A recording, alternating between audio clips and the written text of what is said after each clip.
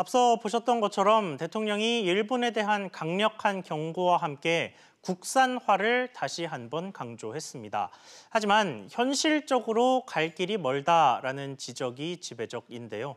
취재 기자와 관련해서 이야기 나눠보겠습니다. 정윤형 기자 나와 있습니다. 자, 정 기자. 먼저 국산 소재가 실제 생산 라인에 투입이 됐다라는 소식이 있었는데 구체적으로 어떤 의미입니까? 이게? 네, 이 반도체 업계는 일본의 경제 보복을 감지하고 올 초부터 국산 제품 도입을 검토해 온 것으로 알려졌는데요. 이 업계에서는 최근 러시아가 한국 측에 제안한 불화수소보다 이 국산 불화수소 생산 확대를 더욱 현실적인 방안으로 보고 있습니다. 이번 기회에 반도체 디스플레이 핵심 소재를 국산화할 필요성이 있다는 지적이 다시 한번 강조됐습니다. 국산화와 수입 다변화를 병행해야 안정적으로 반도체 소재를 공급받을 수 있다는 겁니다. 자, 그러면 뭐 시작은 이미 몰고는 텄다라고 볼 수는 있겠습니다만 네.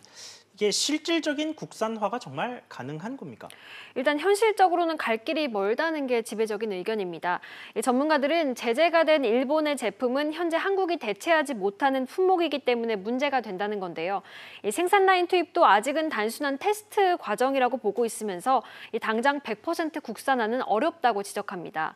국산화가 어려운 이유로는 일단 기술적인 부분과 높은 건설비, 개발비 등이 꼽혔습니다. 이를 해결하기 위해서는 이 정부 차 차원의 인재 양성과 제도적 지원이 시급하고 삼성전자와 SK 하이닉스 등의 전후방 산업에 대한 적극적인 기술 협력이 필요하다는 지적이 나옵니다.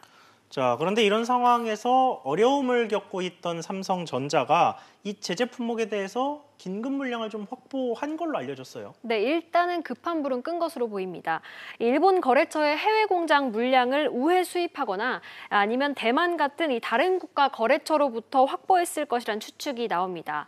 예, 하지만 확보한 물량은 당장의 생산 차질을 막을 수 있는 적은 수준인 것으로 알려졌습니다.